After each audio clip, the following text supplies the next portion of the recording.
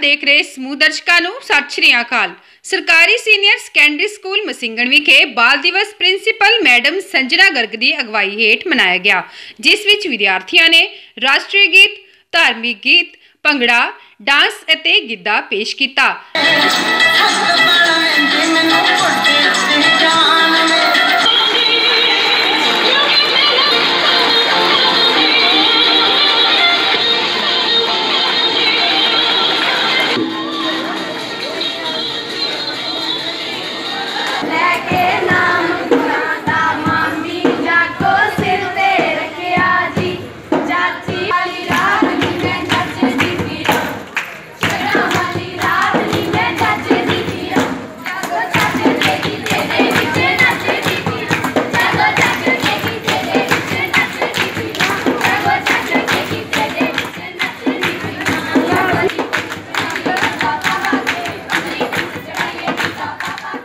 ਦੇਵੀਗੜ ਤੋਂ ਰਜਿੰਦਰ ਸਿੰਘ ਮੋਚੀ ਦੀ ਰਿਪੋਰਟ।